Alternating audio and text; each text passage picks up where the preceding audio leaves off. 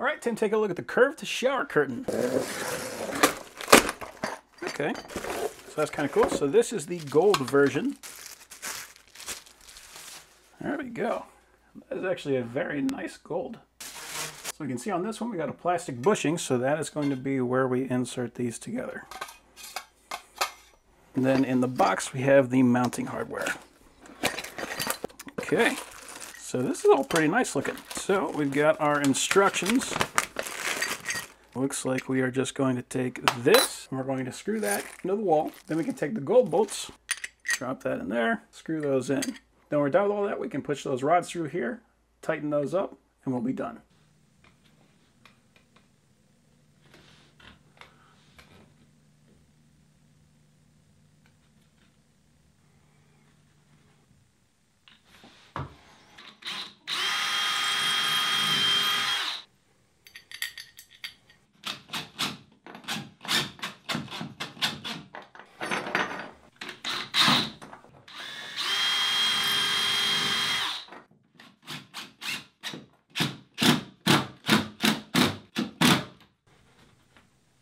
Okay, right, so I got a stud there.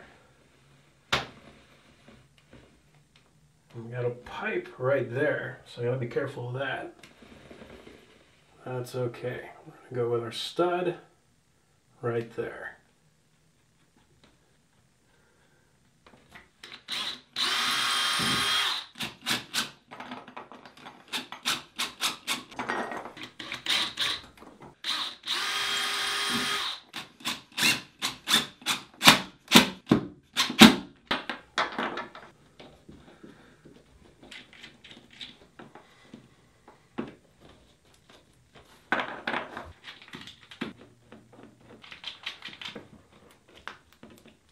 So one of these is a little bit bigger than the other one, and that's to accommodate the different size tubes.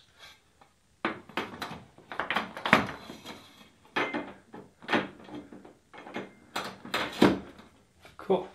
And then to hold that in place, we're going to put in one of these little set screws, and we'll use this tiny Allen to screw that in. You don't want to go too tight because you don't want to just be bending that pipe. You want to go tight enough that it's not going to be able to jerk out. And also it's important to make sure the pipe is fully seated before you tighten that down. Okay, and they did give us one extra just in case we drop one down the drain. So these hooks won't fit over the large size, but it will fit over the small size.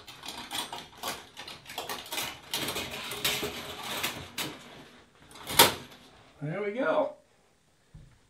Piece of cake.